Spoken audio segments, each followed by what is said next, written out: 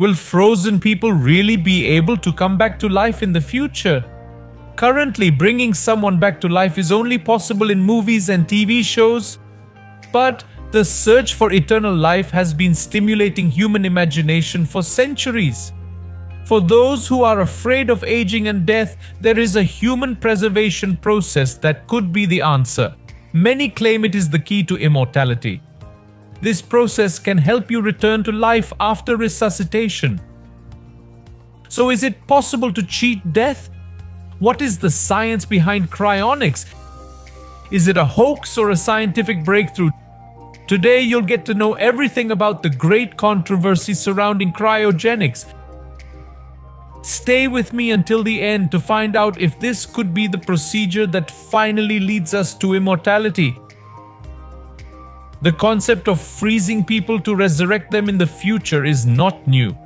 Since the 19th century, some science fiction writers have been imagining this possibility.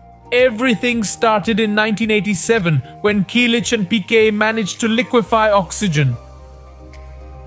Experiments were in full swing at that time, and soon there were liquid versions of other gases. For instance, in 1884, hydrogen was the first gas to be converted into mist. In 1982, Mr.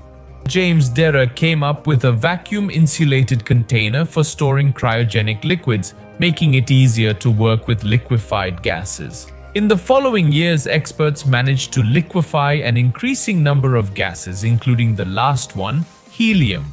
The liquid form of this gas was first used in 1908 Meanwhile, more and more industries discovered the usefulness of cryogenic technology.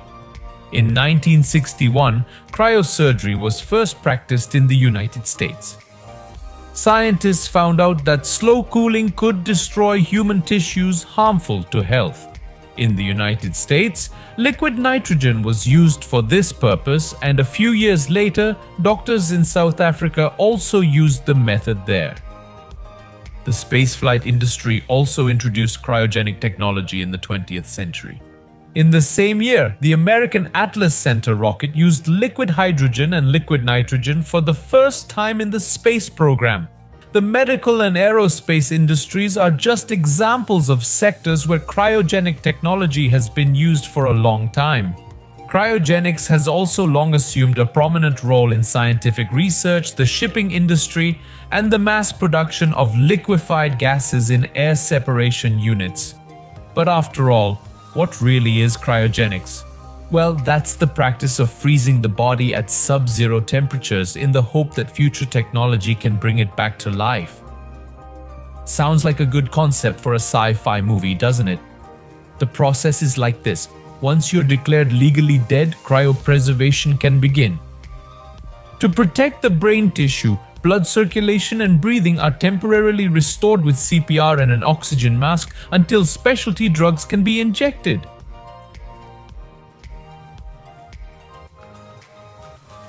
A medical team then cools the body, placing it in an icy water bath and injecting blood thinners to prevent blood clotting.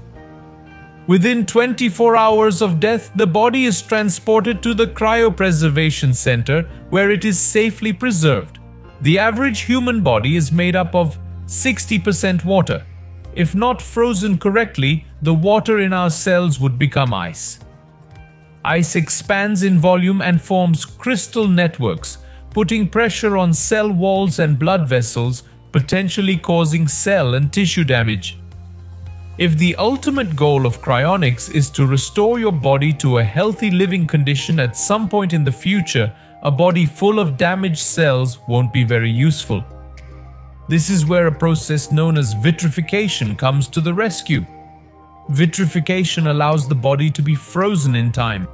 Glycerol and dimethyl sulfoxide are common cryoprotectants used before freezing begins.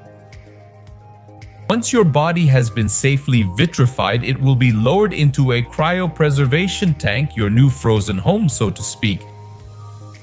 In the near future, your body will be kept at minus 196 degrees Celsius with the help of liquid nitrogen. This will safeguard your body from any deterioration for potentially thousands of years. The first ever case connected to cryonics involves James Arnott, an English doctor who utilized extreme cold in 1819 to freeze the tumors of cancer patients. He also conducted the first cold surgery in 1845. Cryotherapy is still used today to treat cancer. Two years later, in 1967, we witnessed the first human being subjected to cryonics. James Bedford, a psychologist who died from cancer at the age of 73. His body was frozen in a liquid nitrogen tank and remains there to this day at the Alcor Esstation Foundation, one of the world's leading cryonics organizations. Starting from the 1970s, cryonics shifted its emphasis on preserving human cells for various types of medical treatments. The technique was familiar, but it took a significant leap in 1983 when scientists at Monash University in Australia successfully managed to freeze the first human embryo. In addition, they managed to facilitate the first successful IVF births using frozen embryos. From then on, the cryopreservation of human blood, stem cells, embryos, sperm and eggs has been utilized in over 300,000 births. As time passed, the technology to freeze bodies has seen significant evolution. Up to now, about 250 people have been frozen after dying, hoping to be revived in the future. Moreover, 10 cats, 7 dogs, and a parrot also underwent the same procedure. And that's not all there is. There is also a waiting list comprising over 2,000 living people who are awaiting their death to undergo the procedure. The cost of the procedure ranges from 28,000 to $200,000 depending on the preservation time and the contracted plan. Imagine that you could simply sleep for a hundred years, wake up in the future and be totally okay, or at least improve. However, despite decades of the existence of this concept, we are not yet sure if it can work or not. What's the reason? Well, to start with, nobody has been cryogenically frozen and revived yet, although we've had some success with animals. A study has revived a tardigrade, also known as water bear, which had been frozen for over 30 years. However, referencing these animals doesn't constitute a strong argument for the success of cryonics. That's because they're tiny, less than a millimeter long and can be incredibly resilient. Would you have the bravery to join the cryonics waitlist in the near future and test the chance of being revived? Well, thank you for sticking around till the end and see you in the next video on the channel.